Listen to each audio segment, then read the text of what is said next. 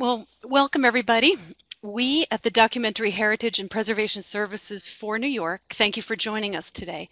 Our topic for about the next hour, maybe a little less, is accessioning, the very basics of how to accession a collection of records, including how to newly accession those already in-house, and how to keep them all straight. Our topic is so exciting that the term insists on a red exclamation mark. Yours truly, I am an archivist with 16 years experience in the field, mostly not-for-profit institutions, museums, and a touch of state government work. I have had a prior career in vertebrate paleontology, which is how I discovered archives in the first place. It's a pleasure to present for DPSNY today, and I'm delighted to have you guys along for the session. Documentary Heritage and Preservation Services for New York, DPSNY, in case you haven't heard the acronym, is a statewide program that supports people just like you, a vast network of unique library and archival repositories that safeguard New York's historical records. Like this webinar, DPSNY provides a range of free services, always free, to eligible cultural institutions, and we absolutely encourage you to check out their website, which has a wealth of resources, including every webinar that they've delivered is right there online for you. As with all educational opportunities provided by DPSNY, our target audiences are the staff, volunteers, and other professionals of the 4,000 plus not-for-profit institutions throughout the Empire State that collect and make available unique recorded information. And I'm talking to you, smaller repositories, usually with limited staff, often part-time, often volunteer. Anyone who's looking for a very basic review and a sprinkling of do's and don'ts, all are welcome, whether you fit that audience or not. And I hope um, this sounds like some of you out there already. If your repository has any of these listed qualities, or all, as in the New York State Archives pictured, I'm going to stop you right here and suggest this webinar may not be for you, but you're most welcome to attend.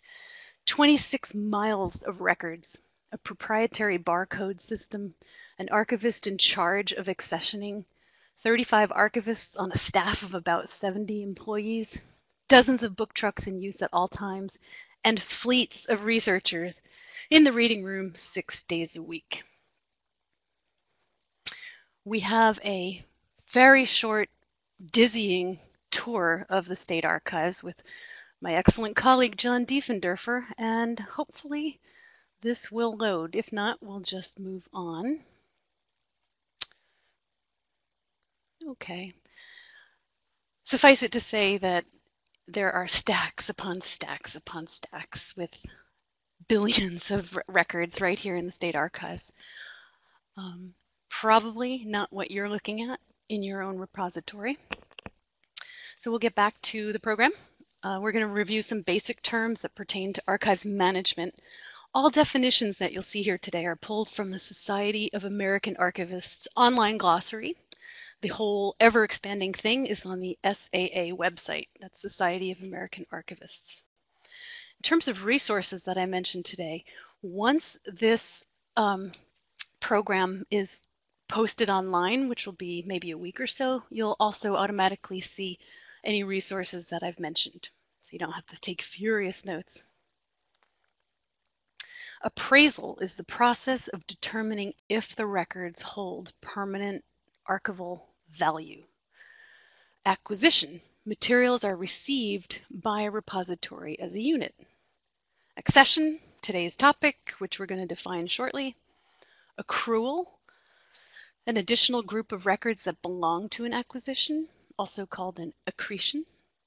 Arrangement, the act of organizing a set of records according to the archival principles of provenance and original order.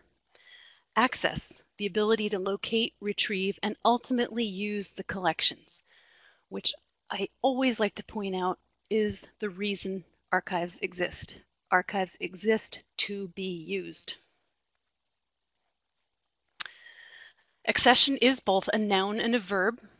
The noun describes materials physically and legally transferred to a repository as a unit at a single time, also called an acquisition.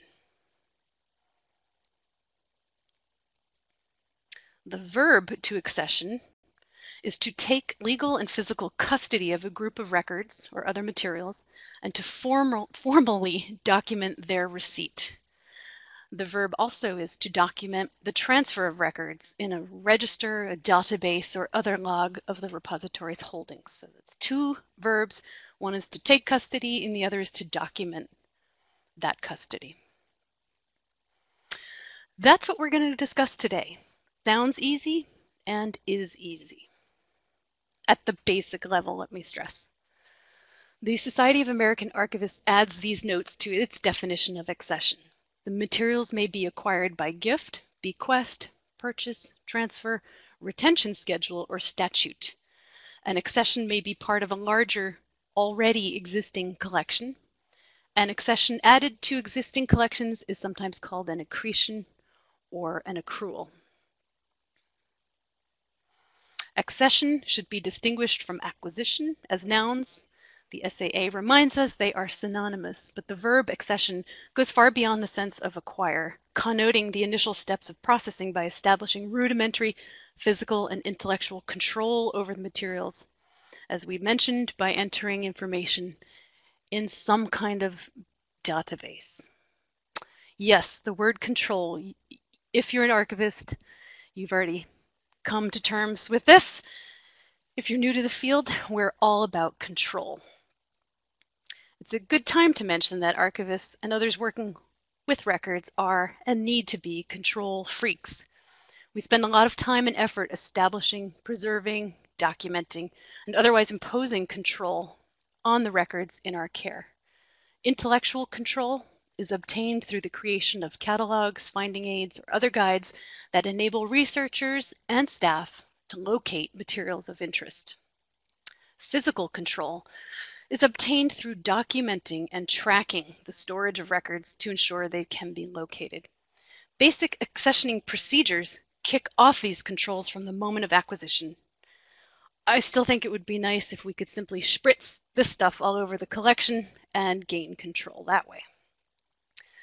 Any discussion of accessioning begins with the legal agreement to transfer physical and intellectual custody of the records from the owner to the repository.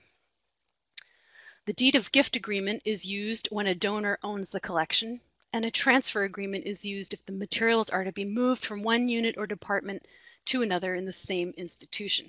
For our purposes today, we will review the deed of gift agreement since gifts are a very common way that smaller repositories acquire material. So a deed of gift is a legal document. It is an agreement transferring title or ownership to the property without an exchange of monetary compensation. In archives, deeds of gifts frequently take the form of a contract establishing conditions governing that transfer of title and specifying any restrictions the donor may have on access and use. The deed of gift is a legal contract where the donor and archivist spell out their agreed upon conditions that will govern this access and use. Archivists strive to have few restrictions, preferably none, on any collection, but in order to obtain the material, we need to come to terms with the donor and their wishes for privacy or confidentiality. These terms might be restrictions on a time base, such as the collection is closed until 20 years after the donor's death. Or it may um, hinge on the nature of certain materials, such as the copyright to all photographs remains with the donor until her death or the year 2025, whichever comes first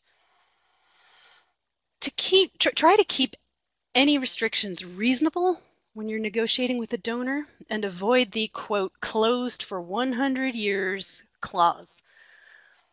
Also, make sure the deed does not exclude the archivist from looking at the materials. Believe it or not, I know that this has happened. And remember, without access to the materials, they might as well be locked away in a warehouse. So that's what we're trying to avoid. Access is key. I love this quip by well known archivist Gerald Ham. Donor agreements cannot become the dead hand of the past.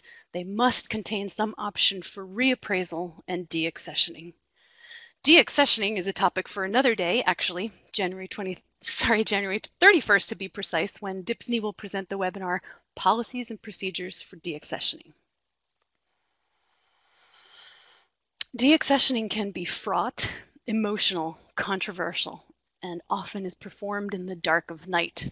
Well, I'm kidding about that, but here are a few titles in the archives literature that set the tone for the subject. But you promised I've deaccessioned and lived to tell about it. Invitation to a bonfire, experiments in deaccessioning, and controversy and collections. We'll leave it at this. An essential aspect that underlies accessioning is basic stewardship responsibilities. For any potential donation, always determine if the collection fits within your institution's mission and collection policy. If your museum collects only salt shakers, and the most exciting collection of pepper grinders is offered to your archive. Is that really appropriate for you to acquire?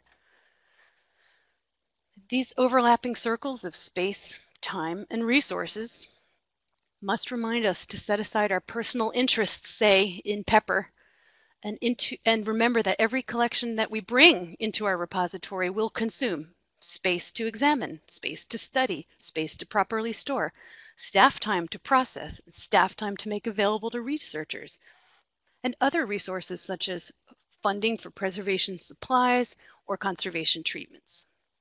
If the collection on offer does fit within your mission and you have the ability to acquire and care for it, by all means. The Code of Ethics for Archivists produced by the Society of American Archivists mentions that we should turn down a collection if it is a far better fit at another repository. The code makes for good reading, by the way, and ethics will be addressed in a forthcoming DIPSNY webinar on March 21st of this year. Back to the deed of gift. Just like any gift, a gift of material to an archive requires three components to enact. One, a clear offer by the donor, a clear offer. That does not mean a doorstep donation left in the dark of night. And I too, you guys probably too, know that that actually does happen. Second, the deed of gift requires acceptance of the offer by the archives or repository. Just because somebody wants to give it doesn't mean the archives wants to accession it. The acceptance here is offer is indicated by the dog's wagging tail. And third element of the process of establishing a gift is physically the transfer of the collection to the archives. The Society of American Archivists website details the purpose and elements of the deed of gift agreement, and I recommend a thorough read of that if you are unfamiliar with the deed of gift. And uh, the I have to credit Mutts Comics for the fair use in, um, fair use use of Mooch the cat and Earl the dog. Now that we own the new collection outright and have the material in hand, we are finally ready to accession it. Accessioning is typically done as close to the acquisition date as possible with new collections.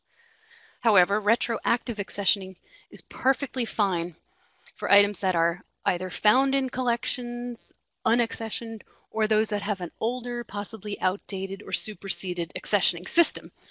Think, for example, a lot of mid 20th century and early 20th century materials had just a two digit year, like instead of the year 1964 being associated with the item, it would just say 64. So institutions like that, for the most part, might have um, updated their systems. We're going to talk about how to do that. There is nothing wrong with implementing a new accessioning system. Just keep track of the old, keep any legacy numbers permanently linked to the collection. So you can update it, but never, never eliminate old numbers, scratch off old numbers, cut tags, keep it all as is, just enhance it with your new accession number. So what follows is a very basic protocol that applies to newly acquired material as well as to collections already in your care. Here you see a blank accession form available from the New York State Archives. And there are also a number of sources for samples. They pretty much contain the same essential elements and can be modified to your organization's needs. It's perfectly fine to handwrite your accession forms or use whatever software or online systems work best for you. Here's an easy numbering system that we're going to talk about at length today that you can implement immediately. You can see it in the upper left-hand corner under accession number. A four-digit year followed by a dot or a dash or whatever you like. A three-digit collection number followed by, if needed, another three-digit number if you have a collection that actually merits more item level. That's possibly more common with art or museum objects. In this example, 2019, the year the collection is accessioned, not necessarily the year it was acquired or the year it was created, rather the year you finally had the resources to accession the material or reaccession. 2019 001, the first collection accessioned in 2019. In this example, the legacy collection number is box one, and I've included that on this new form, upper right-hand corner. The next collection to be accessioned, regardless of what it is or where it came from, is 2019 002. Keep going throughout the year as you accession items, and then when the new year arrives, simply start the next accession at 2020 001. I did promise this was a basic review. I hope I'm meeting your expectations. Here in this example, the current system in a small local public library's archival collection labels a collection by its box number. Thus, the Bryant collection is box 1. The Hasbrouck family collection, specifically one item, that is Charlotte's needlepoint sampler, is known as box 4. You can see collections box 2, 3, 4, and box 5 here. Notice the simple location device of unit and shelf numbering that uh, uh, we've added at the bottom. That's the first shelf in the first unit. Physical control, remember?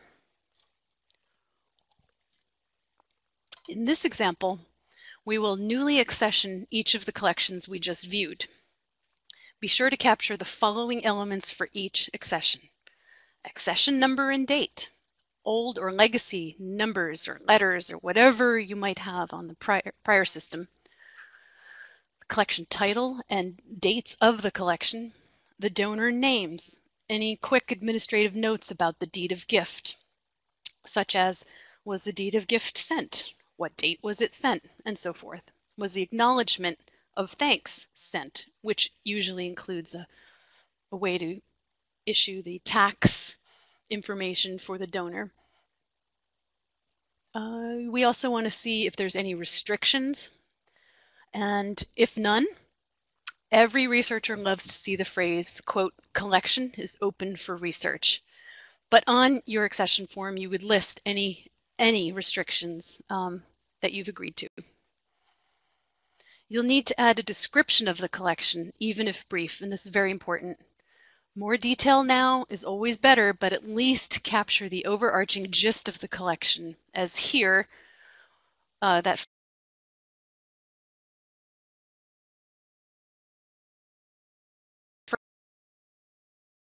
first one is actually for Marbletown school records and local business ledgers of the early, mm, well, actually 1795 through 1956. You'll want to list formats of materials and as many as you can determine exist in there. Uh, for example, paper, uh, photographs, film reels, whatever you can see at your accessioning. And uh, it's nice to have a general condition of the collection. Very general. Oh. Hmm.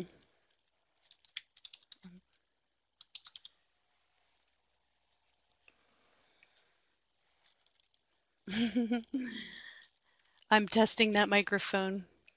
Are we back? I don't want anyone to miss a single word of what I have to say. Okay. Um, you'll need to add uh, any formats. I'm just backing up a minute here.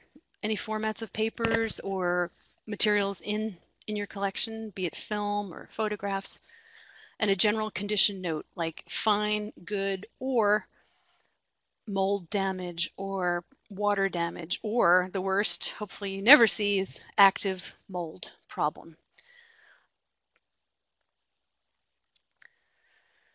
You can use a general notes section for anything else that you'd like forever associated with this accession. Uh, quick testing, testing, can y'all hear me?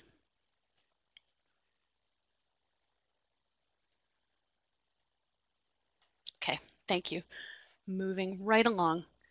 My third up example here is 2019-003. It illustrates the flexibility of this simple system for it includes both legacy box number three and box number four.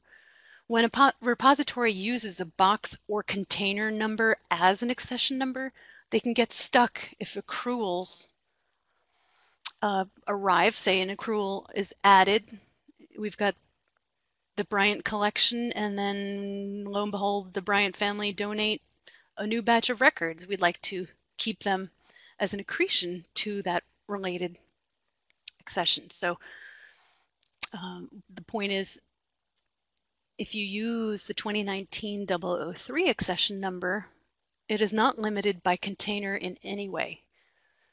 It can encompass however many boxes or files or microfilm reels.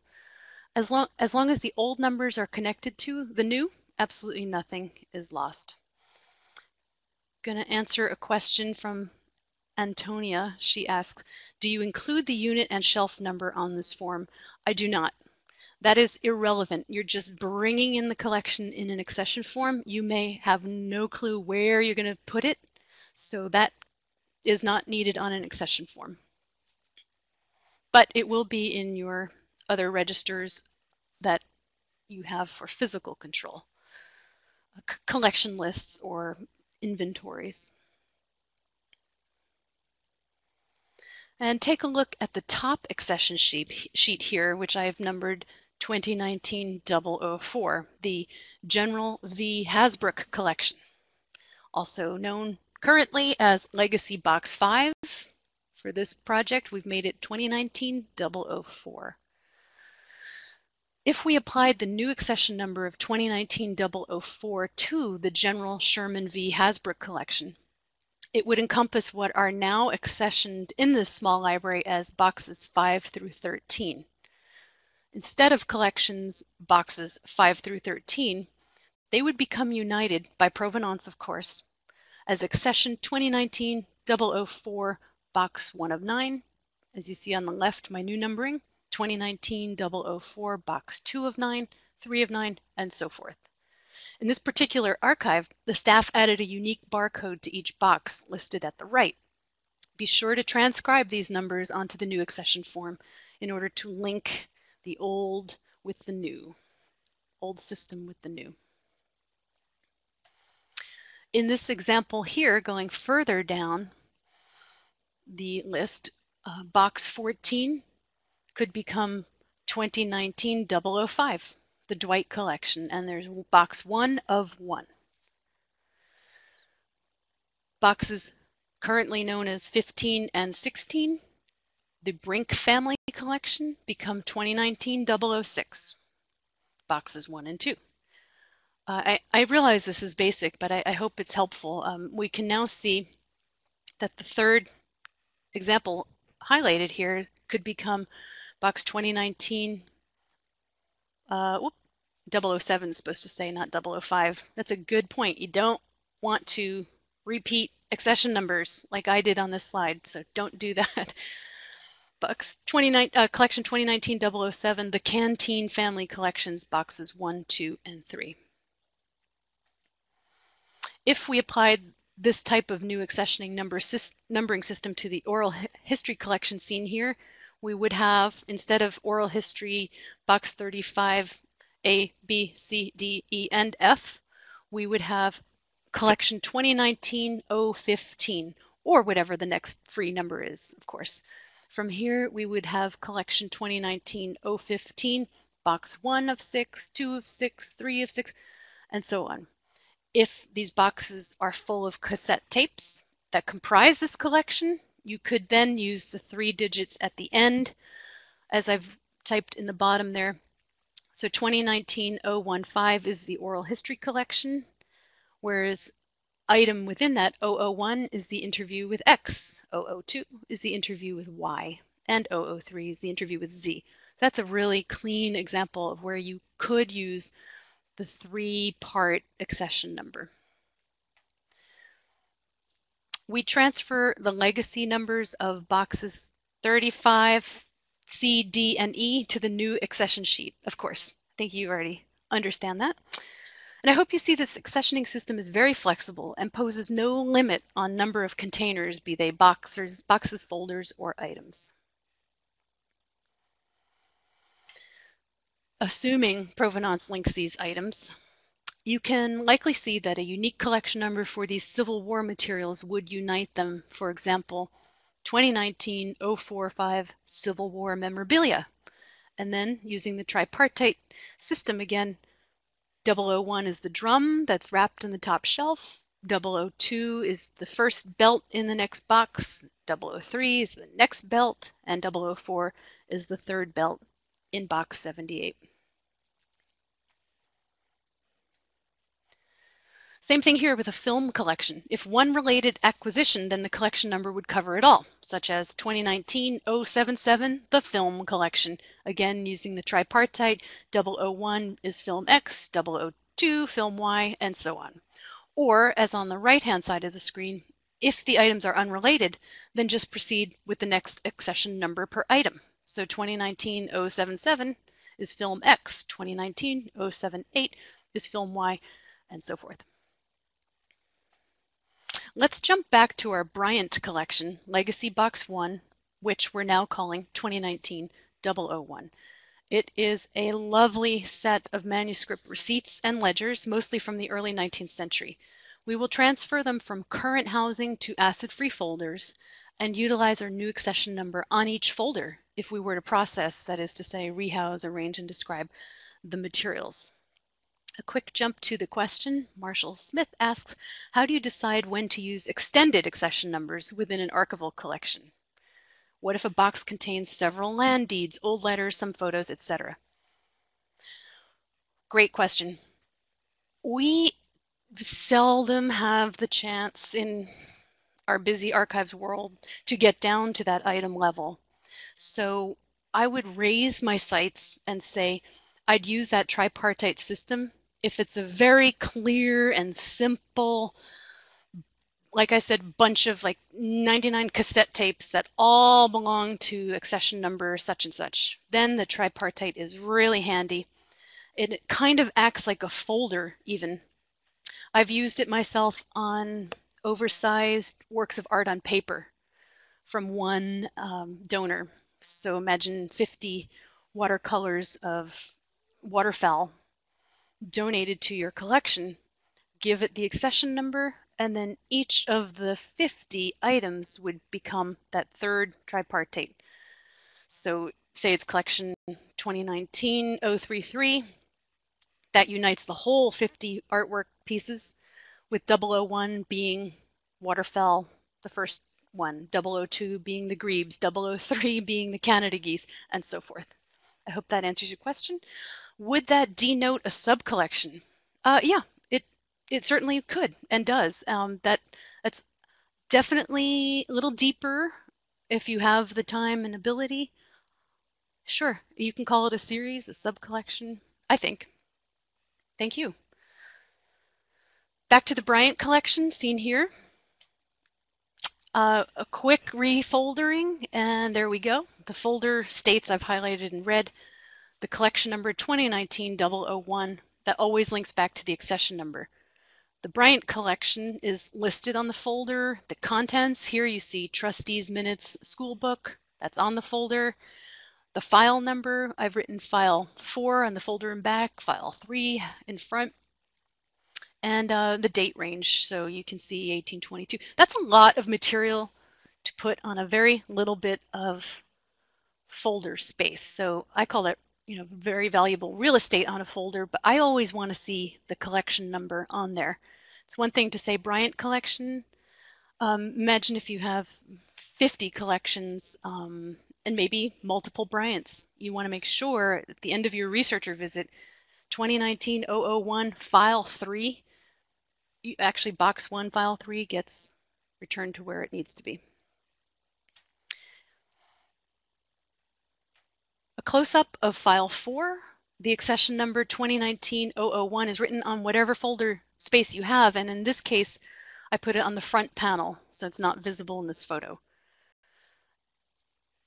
All these labels help us keep control, control, control. Collection 2019-001, Box 1, File 3, File 4, ready for research you can see that I like to use pencil for those elements that could potentially change. A box and file number could change if you move them for some reason. Or if you determine there's too much stuff in file 3, you're going to bust it out into a new file, into two files. So never use something like file 3A. Just erase file 4 all the way back to the end of the box and renumber. So three, four, five, all the way back.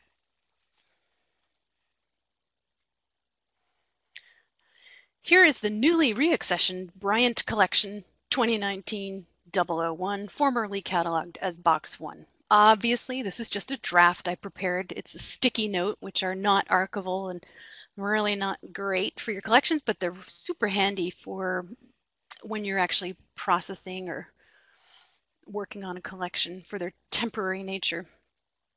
Note with the new accession system, we do not label the contents on the box, just the accession number, repository, and container number, here box one of one.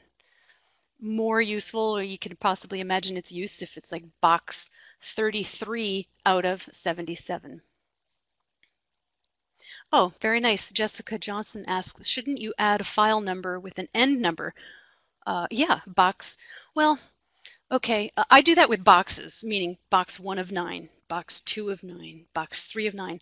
Yeah, it's awesome if you can do that with your files. Uh, if certainly a very easy, nice job for a volunteer uh, to go through and add that number in pencil to all the files in your box. And what Jessica's suggesting is box, sorry, excuse me, file one of more likely 33 in a box, file two of 33. Yeah, you can absolutely do that. The more information you have time to compile and compose together, the better for everybody. Control. I like it, Jessica. Um, Allison asks, with regard to retroactive accessioning, if you were to start establishing a control of institutional historical records, would you go ahead and treat the entire existing collection as a new accession? No, I would not.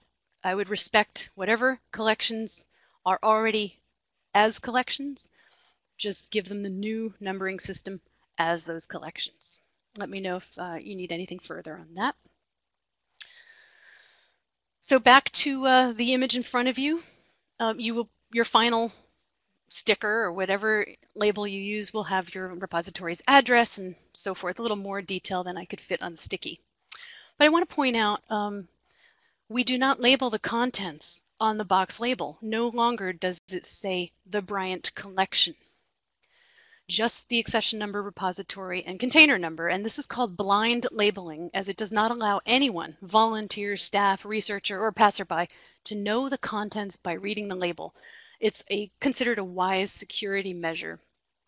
Instead of a label reading, quote, oldest document in Ulster County, quote, we would see only collection 2019-067, so not quite the same appeal. Quickly jumping to your questions.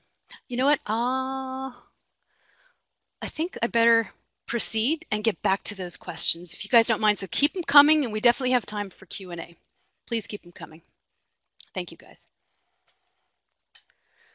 Okay, here is a key component. You are looking at a key component to all that we've discussed today, and it's called the control file. What do we do with all those accession sheets? Easy. We create a unique folder that will hold the accession sheet plus any and all current, past, and future documentation about that particular collection. These folders are placed together in a control file, sometimes called a master file or an accession file. These materials are never placed within the collection itself, where a researcher or anyone else might possibly encounter sensitive information, such as a donor's address or the fiscal value of materials, raising you know, security alarms, or anything else that's not for public consumption. Control files are, for the most part, restricted to staff. They're confidential. They're not part of the documents that um, you are archiving. They do have permanent value, but they're in your domain. They're not for the researchers. In this example, we see the accession sheet to the left um, and then scattered throughout fiscal appraisal, donors' notes on the provenance of the collection, copies of the library director's correspondence with the donors, the deed of gift is in there, and a few handwritten bits of information literally anything about the collection. Be sure to add any existing or legacy finding aids. This is the finding aid to box one. Excellent, all those subjects, all those access points, we don't want to lose that. So that goes right into the control file. Intellectual control, don't you love it? Here's an example of a control file or master file. Now yours will have more than one folder in it. The State Archives, for example, has a bank of file cabinets full with master files. Um, control files will always contain the deed of gift agreement or however the materials came into your collection, transfer, purchase, all that. And the accession sheet, so the deed of gift and the accession sheet as a minimum. Other documents might be added through time, loan information sheets, conservation treatment, research publications on the subject, details of any accretions, documentation that link the archives to other collections, notes of any weeding or deaccessioning, or perhaps grant-related research or other work on that collection. Just drop it in your control file. Also keep a running list of each year's accessions by number and by title. This could be sophisticated and digital or written with a humble pen whatever your resources allow. I have worked at a small archive that lacked any kind of software for accessions, so I started out with a handwritten list and it never failed. I also have worked at an archive where a huge number of collections had never been accessioned. We dove in to impose control and started with the number 2010-001. Obviously, that's the year I worked there. There were a couple hundred collections to accession, so the three-digit number allowed a lot of room for this.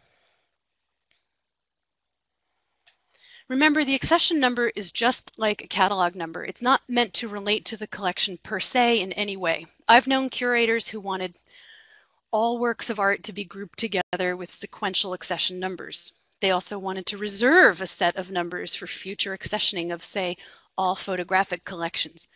I wish to stress that we must not be beholden to the accession numbers like that. If one collected artifacts and cataloged each one, one would not in the 21st century demand that all clay shards ever to be collected must fit between numbers 100 and 199, and all glass fragments, you know, get numbers 200 to 299. It isn't logical or practical or necessary. However, I did once break that rule. I was the archivist at a museum where the real James Bond, renowned ornithologist of the mid 20th century and author of Birds of the West Indies, had worked.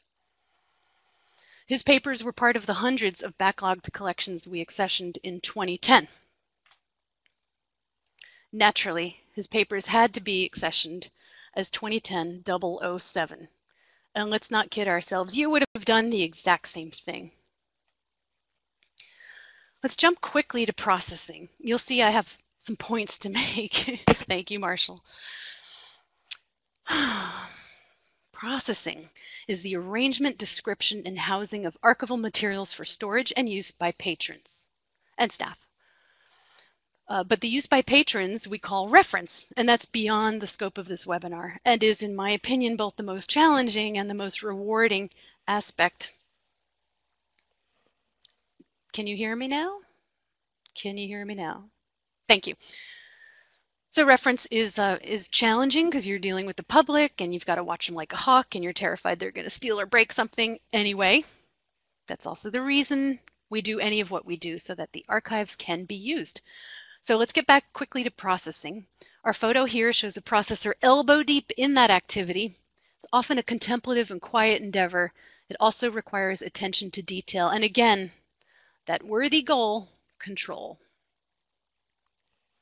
A collective term, processing is a collective term used in archival administration that refers to any activity, well, to the basic activities required to gain control of those records. Accessioning, arrangement, culling or deaccessioning, boxing, labeling, description, preservation, and conservation. All of these tasks are important and all consume time, supplies, space, and human resources. Processing is rewarding on its own, but more so if you have a bright colleague to bounce questions and ideas around with. Not only does it provide a sense of accomplishment for the processor, it provides much improved storage for the collections in the form of physical support and chemical inertness. Likely these two archivists are discussing the latest issue of American Archivists or the finer points of arrangement and description while they rehouse early 20th century geology field notes. I will take this opportunity to point out a good practice in practice. If you look to the back of the room, all of the drinks these gals are enjoying are separate from the collection and stored in a tray. Processing. Through the years working with interns, graduate students, and newly minted archivists, I often hear this and have thought it myself. But I just want to work in the back with the papers. Yeah, we all do. Ah, to leisurely refolder each file to describe material to the folder or heck, item level. To rehouse in brand new acid-free folders, acid-free boxes, to remove old paper clips. Look at all that control. To savor the debris pile of superseded files at the end of a processing session. It's so rewarding. However, if you've been an archivist for a while, you'll know this phrase, more product, less process. MPLP for short. Archivist Mark Greene and Dennis Meissner issued a striking call to archivists in 2005 to, quote, rethink the way they process collections, particularly large contemporary collections. In case you think I've dropped down into a rabbit hole of processing, I will bring it right back around to accessioning in a minute. Greene and Meissner wrote, Put very simply, processing is not keeping up with the acquisitions and has not been for decades, resulting in massive backlogs of inaccessible collections at repositories across the country. It should be dismaying to realize that our profession has been struggling with backlogs for at least 60 years. Backlogs are continuing to grow and are weakening the archival profession. Did you know that? They write, truly, much of what passes for arrangement and processing work is really just overzealous housekeeping writ large. Our professional fastidiousness has encouraged a widespread fixation on tasks that do not need to be performed. Good processing is done with a shovel, not with tweezers. This is such a great image to keep in mind when we approach processing. I love the statement that Greene and Meissner suggest plays out in all the task areas that make up archival processing. We must get beyond our absurd overcautiousness that unprocessed collections might harbor embarrassing material not accounted for in the deeds of gift. We must stop fretting over what users might think about us if given a dirty, disorganized collection. In fact, they write, their thoughts will be paeans of praise compared to what they now think about us after being denied access to so much of our holdings. The minimum goal Greene and Meissner, like other archivists and administrators, have recently suggested, you know, recent last turn of the last century, 20th century, and into our century, have suggested that the minimum and therefore likely obtainable goal for all processing is to create an accession level description for every collection. We've already been through the basic elements of accessioning forms, so you know what level we're talking about when we say accession level description for every collection. Greene and Meissner presented their call to archivists 13 years ago with clarity, eloquence, and obviously wit.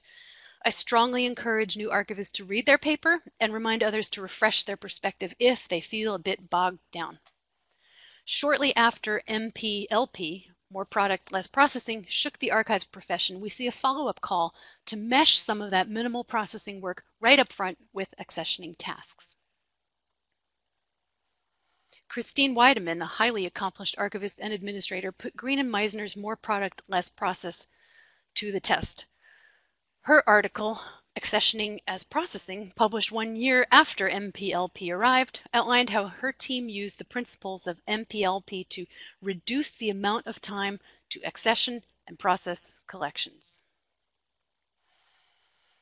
Another excellent article new and seasoned archivists may enjoy anew or again Uh, accessioning as processing relays the author's results when she applied MPLP processing standards to her collect her accessioning activities. She wrote, "Accessioning as processing is the goal. During the accessioning process, we arrange and describe the materials so that they are ready for research use and never enter our backlog. In short, we apply processing standards such as those recommended by Greene and Meissner during the accessioning process. Now we spend a little extra time during the accessioning process and often end up with a collection that's ready for research quickly. We no longer need to expect ourselves to refolder the contents of each file and painstakingly rewrite the contents on the new acid-free folder. If the folder still supports the contents, keep it and move on. Not as pretty, but those days are over. At accessioning, we can speedily lose the bulk of unnecessary containers such as this 1980s three-ring binder, not for beauty's sake, rather for real estate on the shelf. Hope you can see this uh, example. Each of the binders on the left is practically four inches at the spine, four inches wide. A quick busting out of the contents and foldering them in sequence occupies about 2.5 inches. A worthwhile gain? If your collections were replete with four inch wide binders, I'd say yes. This archivist will have gained easily 20 shelf inches when this speedy task is complete. Yes, at accessioning, we can make bold decisions to rapidly unload any massively unwieldy, inappropriate, or purloined containers. A quick reboxing at accessioning, not refoldering, just reboxing, will relieve the pressure on these aerial photographs and make the collection accessible to researchers. Can you see these are two boxes side by side that are just bursting. They can't even sit on the shelf neatly together, these boxes, because they're ripped at the seams and totally overstuffed. Yes, this type of upgrade is likely to expand the collection's footprint, but that will balance out in the end with the following example speedy recognition and elimination of duplicates, or in this case, multiplicates and multiplicates of items. Archivists typically, typically save two of any printed item, maybe three, really up to you, but we certainly don't need this many of any modern document. In a matter of minutes, we've identified two from each of that set and saved ourselves easily 21 inches of shelf space. This is very satisfying, possibly more so than over-processing a collection, and it's completely legit. I'm going to end on this mental high and we'll open up back to Q&A, questions and answers. Three very special thanks I must acknowledge. Kathleen Bonk, museum technician, geology department in the New York State Museum. Jody Ford, director of the Stone Ridge Library in Ulster County, who allowed me to use her collection for the examples of renumbering, and John Diefendorfer for sharing his for sharing his collections and expertise. All three of them. And thank you for choosing to spend your time with us at the Documentary Heritage and Preservation Services for New York. We hope to see you again. And now let's jump back to those questions. Jumping up to Allison Robbins. Um, oh, sorry, up a little higher. Just scrolling up, here we go. Allison Robbins asks, with regard to retroactive accessioning, if you were, oh, I answered that one. Dina Schwimmer asks, why again would you not insert a folder 2A versus renumbering? It's not ideal, but can it, it can result in a lot less work. You're absolutely right, Dina. It is not ideal and it can result in a lot less work. But oh, through experience, I've just seen so many issues where no one knew there was a folder 2A. There's a folder 2 and a folder 3. So imagine after a research visit, you're putting your folder, you're making sure every folder is accounted for. How would you know, maybe through the finding aid, but typically after a research visit, archivists were busy putting things away and we would not know that there was a folder 2A missing because it's not sequential. I can give an example from the state archives where I previously worked. We had different scale, believe me, um, close to 420 pound ledgers of written materials, 400 pre 1847, I believe. Um, these were uh, all, let's say 398 of them. We knew that they were there. We numbered them anew with, with a label on the outside of the containers, so 1 through 397. And then um, I can't remember exactly the sequence of events, but we realized there was a book 88A. So, it, whoa, okay, that changes things. If we went back to renumber um, every single box label, that's 398 box labels to generate. And again, with the 88A, in my thinking, at least if you're going to do that, change 88 to 88A and the next folder is 88B. But yeah, we had to completely reorganize. We decided to put book 88A at the end of the collection since uh, that way we could continue have each volume number match its container number, which is just a nice thing to do, not necessary. But when you have 398 volumes, it's nice to have the label match the volume rather than being a one-off. Okay, I hope that answers some of that. Do you advise placing location where stored on the box, such as shelf number? Uh, yeah, yeah, definitely. I know a huge place like the state archives, whenever a box is pulled, the clerks will write on that box in pencil, this came from shelf, you know, 99, row 99, shelf 7. And that way, when they put it back, they just look at what they wrote when they pulled it, easily done, back to unit 99, shelf 7. Um, that's great. Uh, also, I would use pencil for that because you never know, some things might change around. Do, um, because there are only 26 letters. I'm sorry, Jessica, I'm not sure I knew what you meant by that. If you want to read, expand that question. Allison says, to expand, no existing numbers, etc., just the records and boxes as gathered. This would be the first system of control ever used for them. Fantastic. Nice and clean. Go for it. 2019 001, you've got your number ready for you. Okay, Allison, good.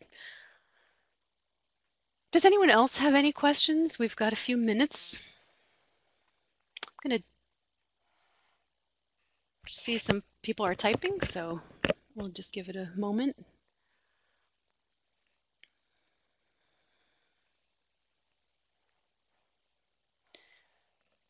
You can see DHPSNY, the website is dhpsny.org. Please check out their list of recorded webinars, collection security, um, grant writing, oh my gosh, how to deal with damaged collections, all about mold, nice title called Demystify, excuse me, Demystifying Cold and Frozen Storage. And also, DHPSNY offers workshops around the great state. So keep track of their calendar because if they're anywhere near you, their services again always free, totally worthwhile attending. They're run by absolute professionals. And okay, any any more questions? Yep.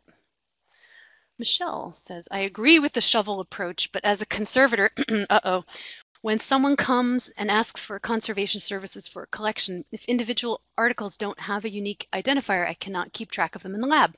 So perhaps the tweezer approach can be applied when conservation is a likelihood. Oh, absolutely. Absolutely. Conservation, I would say, for the most part, is an item level task. You may have multiple items, but every item literally will be treated. So definitely use the tweezers, whatever other tools conservators use, and um, you can also put a, a, temporary number to relate to your item. Um, it's also, to be fair, it's fun to use a tweezer in processing, but it really doesn't get the records out there any faster. Jessica, how does accession number fit into series and subseries? Uh, it it doesn't matter. It doesn't actually pertain. It, it covers them. Put it that way. The accession number covers the whole collection. If you never get a chance to describe them to subseries, that's fine the collection number covers all, let's say, 33 boxes of materials. Um, series and subseries is an intellectual pursuit to make material more knowable for researchers. And yes, since description follows arrangement, um, arrangement does make things physically easier. So you've got your, say, a series of invoices for fuel bills of 1899.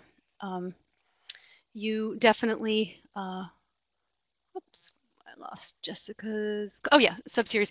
Um, it doesn't matter. Your series and subseries, however fine or broad you want your finding aid to be, the accession number covers that one collection. Elizabeth, do you write the accession number in pencil on a paper document, photo, map, etc.? You can. You absolutely can if that is how you or your trustees or your conservators, um, whoever you're working with and for, if they're comfortable with that, by all means. I love it. I love using a pencil and throwing an accession number on the back. It's usually fairly obvious that it's not part of the document. You want to make sure you don't do that on like a valuable document. You don't want to deface anything. But for, for more modern records, if you're dealing with bulk, yeah, why not? Uh, other people may disagree, but if you're making that decision, you decide. Jessica, most boxes with folders are sequential. Label the folders with two of six or two of six is not that time consuming. Using the alphabet, you are limited to 26 letters. Using infinite numbers is much more realistic when you have numerous files in a box. Oh, I couldn't agree more, and I hope I conveyed that too. That it's box box three, file three, box three, file four, box three, file five, and on and on and on. I don't use letters, really. Agree with you completely. Deed of gift. How far must archivists go to determine the donor signing it is the only owner? Oh boy, I have seen that one backfire. Um, we have to have to work in an environment of trust, frankly. Um, we, if the person presenting the materials claims to be the owner, uh, uh, you know, I've actually read articles, I think, in American Archivist about how far to trans, sorry, to research the title of uh, copyright, and um, it's just not worth it. It's not worth it it's not worth our time. We have to work in an environment of trust. If the person donating it turns out not to be the owner, well, the experience I had once was when a at an archive I was working in, donation of so and so's such and such papers came in. Perfect deed of gift signed by both parties, me and the donor totally legit. As far as I'm concerned, we've covered what we need to cover. But this person evidently had an angry cousin who called me and really gave me the third degree that cousin so and so had no right to donate those materials, they're not hers to give, and so forth. But I basically, and it worked out, I basically had to say, that is between you and cousin so and so. I have what I need for legal purposes that shows somebody, presumably the title owner, the person who claimed to be the title owner, transferred that title to the archive. It's always nice if you have a legal counsel on, on your staff. Can always run these things by them. But we really can't go too, too far. Michelle, hey, conservators are not that bad. Oh my gosh, I love conservators. I'm bowing in a nonverbal praise of conservators. You guys are phenomenal. Allison, another question. When dealing with historical records that are occasionally being discovered in the building, would you treat these as new accessions or accretions to the existing accession of records? Excellent question. Archivists are bound to two principles. The first of which, I mean, we're bound to a lot of things, but we have two overarching principles that answer those questions for us. Principle of provenance says that all that a given collection must not be intermingled uh, with another. The let me say that better. The creator of one set of records, those records must not be intermingled with somebody else's. And I like to use the example of the papers of George Washington must not be mingle intermingled with the papers of Abe Lincoln. Uh, yeah, they're both presidents. Yeah, they're both wartime. A lot of subjects overlapping, but we would never mix those. So when you find or discover a new a, a collection in the building, I would certainly there's no harm in accessioning it as its own thing. But if you find like, wow, this is the third diary, we only thought there were two of the so-and-so collection, then yeah, link it right in. It's an accretion to the existing accession.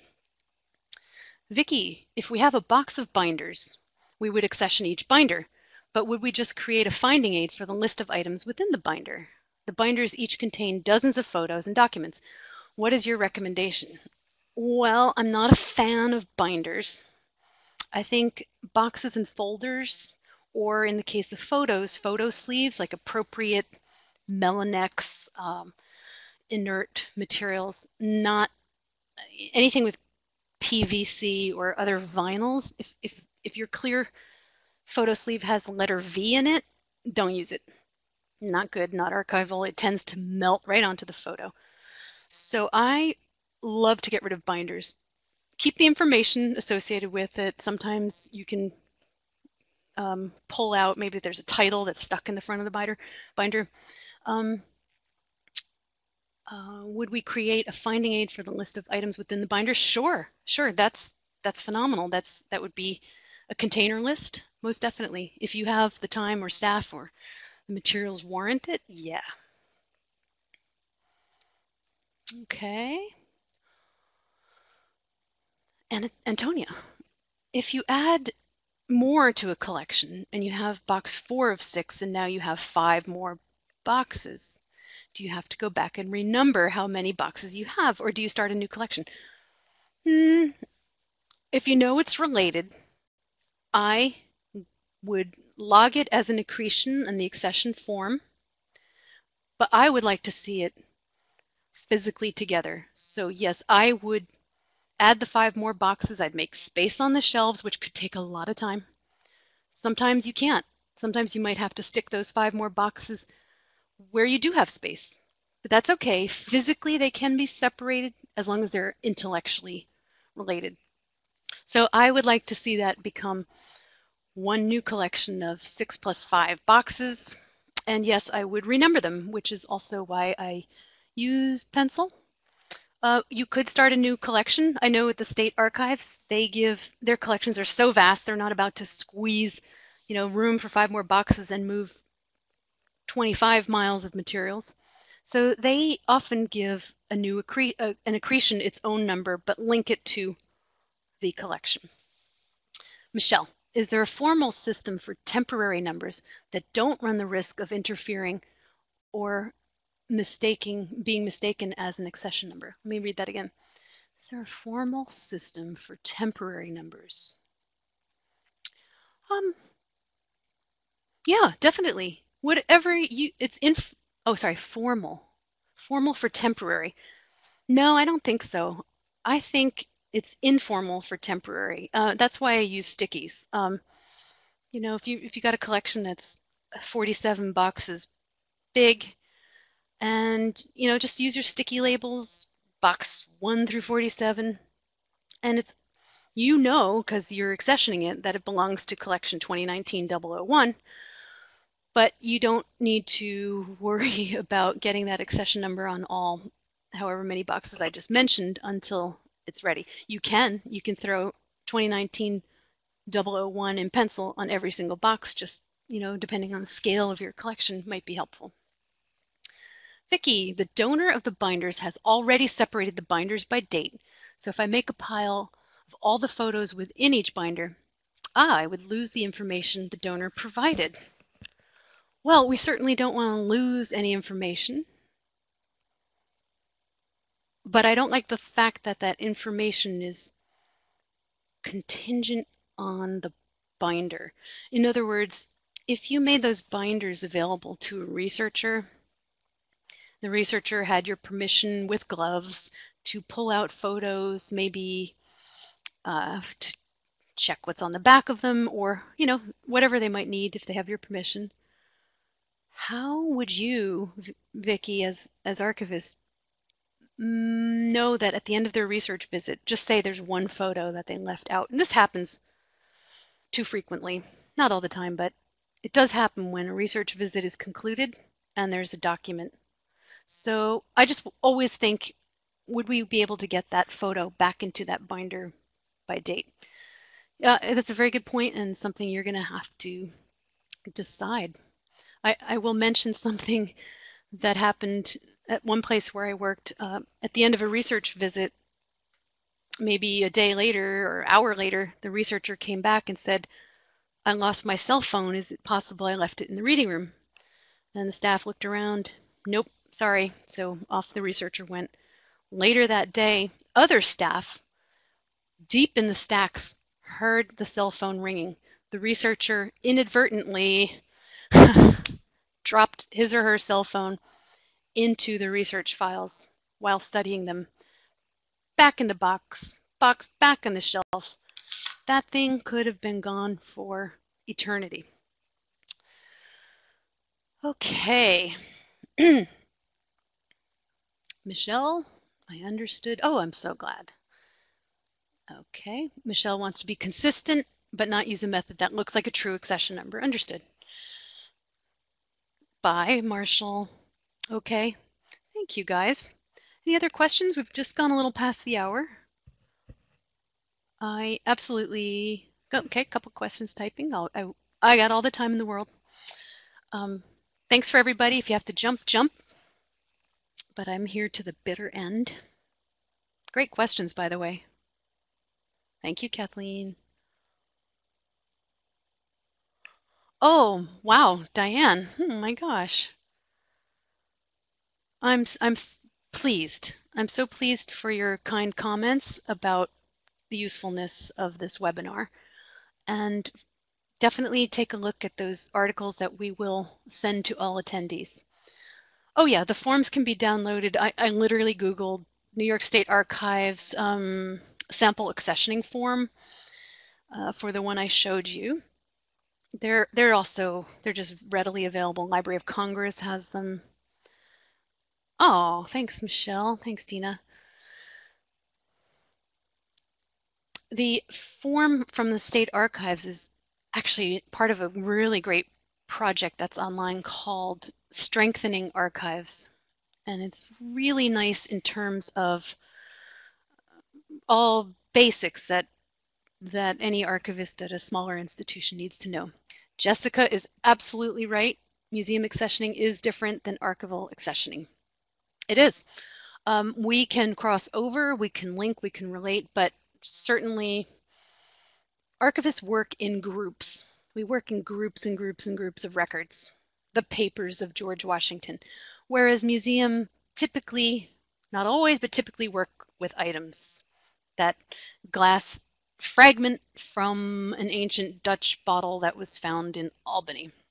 So yeah, you're absolutely right. And there's plenty of good resources on museum accessioning and its difference to archival accessioning. I'll mention one right now. It's a great book, maybe eight years old, called mm, Museum Archives. We'll throw it in the resources, but there's a chapter on archival accessioning for archives, the archives of a museum, and a chapter on how it's different than museum accessioning. So you're absolutely right. These are different professions.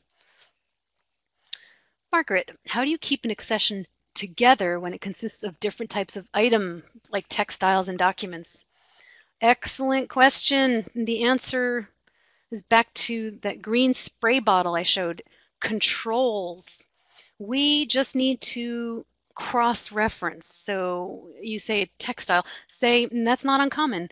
You get a bunch of papers of the such and such family, and you're in box three, and lo and behold, there's a christening gown from so and so who was christened in the year 1842. Yeah, uh, you if you have a textile department, you might want to indicate physically by writing and dropping, um, I call them dummy folders. It's just an old phrase. Um, a, a, mock folder, a holder, a placeholder that could say christening gown, box three, file seven, and then right in the file, right there on the file, relocated to textile collection, and then just make sure you can cross-reference that also indicate all that on that accession form or however many forms you need, drop them in your control file. And then for those who are studying textiles, they come across this beautiful christening gown and make sure there's a note physically there is fine or in the textile documentation that says christening gown 1843 belongs to and is associated with archival collection 2019 007. Oh, you guys, I'm so pleased you've learned something. So thank you.